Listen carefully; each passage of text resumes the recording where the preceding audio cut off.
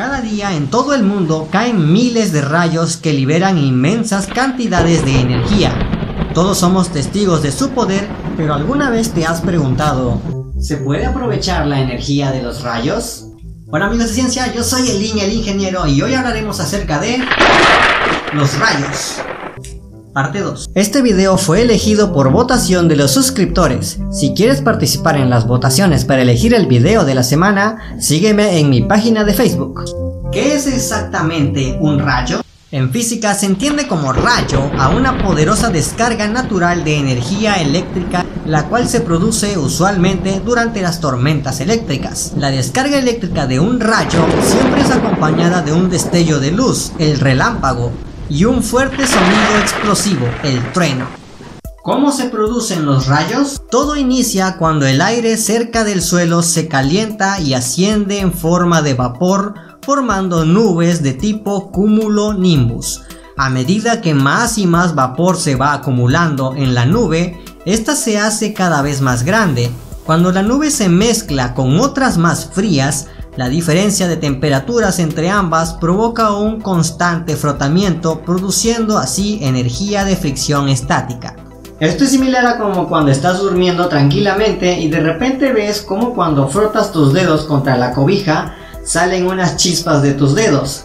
Esto es porque el constante frotamiento entre tu cuerpo y la ropa de cama genera esa energía estática que se libera por la punta de tus dedos. Lo mismo pasa en las nubes, la fricción que ocurre provoca que las partes bajas de la nube se carguen negativamente y la parte superior se carga positivamente. A su vez, la nube atrae poco a poco cargas positivas del suelo que se acumulan justo debajo de la nube. Y cuando las cargas de la nube y las cargas del suelo se encuentran, ¡pum! El rayo cae. Esto puede ocurrir de cinco formas diferentes. De una nube a otra, de una nube al suelo, en el interior de la propia nube, de la nube hacia la estratosfera y del suelo a la nube. Sí, también pueden caer rayos hacia arriba si se dan las condiciones específicas. Y estas se dan en las erupciones volcánicas, donde el suelo se carga negativamente y las nubes positivamente. Un rayo puede contener hasta 5 mil millones de joules de energía, más de 200 mil amperes, 100 millones de volts y hasta 6000 grados de temperatura. Como pueden ver, estas son cantidades energéticas inmensas. Ahora que ya entendimos su naturaleza, ¿cómo podríamos almacenar o utilizar la energía de un rayo? Hmm, ¿existe un aparato o máquina capaz de hacer eso? Actualmente todas las plantas eléctricas del mundo producen muchísima más energía de la que genera un rayo, pero esta energía es muy controlada y generada durante periodos de tiempo relativamente largos. Un rayo es una descarga eléctrica de una fracción de segundo. No existe ningún aparato como por ejemplo un capacitor gigantesco capaz de almacenar 5 mil millones de joules de energía en menos de un segundo. Tampoco podríamos almacenarlo en miles de baterías, ya que las baterías trabajan con corriente directa y la electricidad que produciría un rayo sería en corriente alterna, así que primero tendríamos que transformarla en corriente directa y luego pasaríamos a almacenarla, pero regresaríamos al mismo problema técnico. No existen baterías o un conjunto de baterías capaces de almacenar más de 200.000 amperes en menos de un segundo. Incluso las baterías más potentes necesitan varios minutos o hasta horas para almacenar unos cuantos amperes.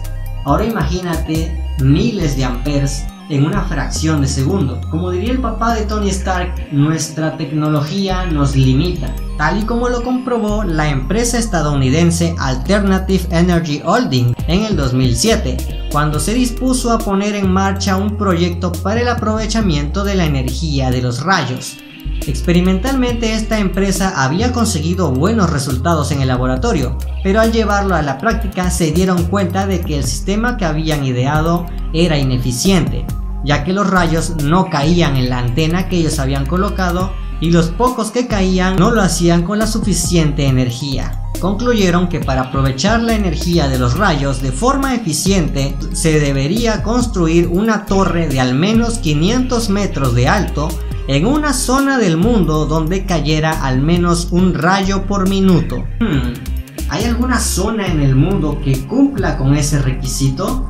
Claro que la hay. Existe un lugar en Venezuela, ocurre un fenómeno que no ocurre en ninguna otra parte del mundo, el relámpago de Catatumbo, un fenómeno meteorológico que produce casi 300 tormentas eléctricas al año, con hasta 60 descargas por minuto. Este sería el lugar perfecto para la primera planta de energía eléctrica a partir de los rayos del mundo. Así que si la tecnología sigue avanzando, quién sabe, tal vez en el futuro Venezuela sea el pionero mundial en el aprovechamiento de la energía de los rayos. Por ahora nuestra tecnología no nos acompaña. Pero quién sabe, tal vez alguna de las personas que está viendo este video sea quien nos abra las puertas al futuro de la energía de los rayos. ¿Y qué podríamos hacer cuando finalmente logremos aprovechar la energía de los rayos?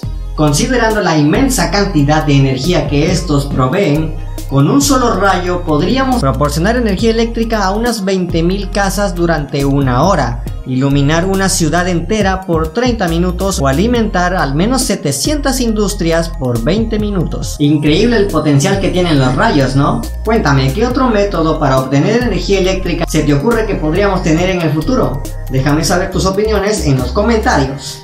Y ahora, antes de irme, un anuncio importante para ustedes. En unos días llegaremos a los primeros 500 suscriptores, así que estoy realizando una encuesta en mi página de Facebook para saber su opinión. ¿Qué les gustaría que hiciera para el especial de 500 suscriptores? Opción A, un video especial sobre mí y sobre el canal. Opción B, un directo respondiendo todas sus preguntas. O opción C, un sorteo súper especial. Si quieres participar en la encuesta, te dejo el link en la descripción. Y ahora sí amigos de ciencia, eso es todo por mi parte. Espero que este video les haya gustado. Ya saben que me pueden dejar un buen like y suscríbanse para más videos de ciencia como este. Muchas gracias. Adiós.